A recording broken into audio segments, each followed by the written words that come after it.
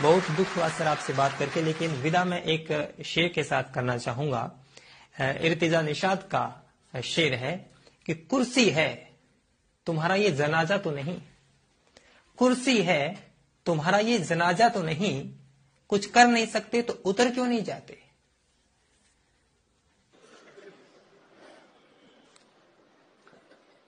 मुझे पता नहीं था कि कवि के भीतर भी कोई पत्रकार बैठा होता है।